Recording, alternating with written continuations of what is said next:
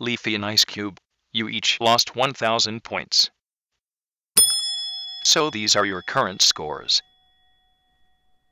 Tennis Ball, Ice Cube, and Leafy are in the danger zone. But the voters won't be deciding who will be eliminated.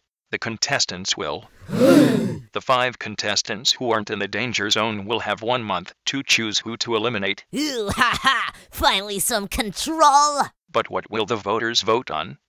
Well, it turns out that one recommended character will join the game.